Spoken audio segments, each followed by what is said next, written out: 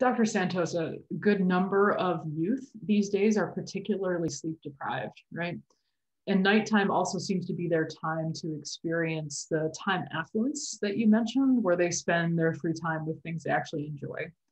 So, how might we work to help our young people prioritize sleep when life giving things like extracurriculars or sports or just spending time with friends get in the way? Yeah, I think this is really tricky, right? You know, we would I wish we could just make more hours in the day, you know, for our students that we work with, but for all of us, right?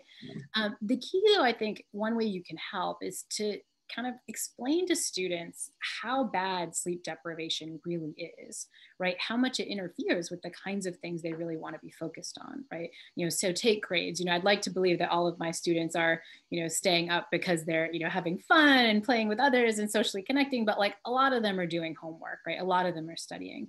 You know, what does the data say about grades and sleep? Well, the evidence suggests that if they put a little bit less time into the studying and a little bit more time into sleep, the effect on their grades might be more positive than they think, right? You know, the sleep deprivation is negatively affecting your memory. Sleep deprivation is negatively affecting your cognitive performance and your creativity, like all the things you need to like, you know, do well on tests. You're losing that as you don't sleep. So what you're kind of making up for in the studying might not be helping you as much as you if, as it would if you just like use that time to sleep. So that's kind of power, part of it for the kind of grades, you know, academic work side.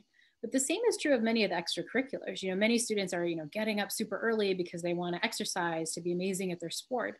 And like the same thing is true, right? You know, your physical bodies just need rest.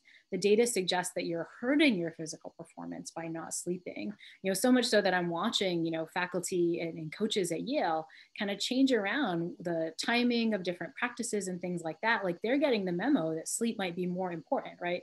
You know, and I, I'd like to think that they care about their students' well-being, but I also think they care about the bottom line. You know, these coaches care about winning games and they're realizing that you do that better if you just sleep more.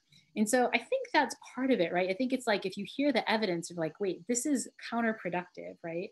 I need to find ways to have that social connection, to have that fun time, but I need to not be doing that at the expense of sleep. Maybe I need to be doing that at the expense of some of my schoolwork, you know, if you're really intense at school. You know, maybe I need to be finding time affluence in other ways, really looking at um, how I'm spending what researchers call time confetti, these little pieces of time that are floating around. How can you use those better? Um, those might be all techniques you can talk about with the students you're working with um, to give them some better strategies. Thank you.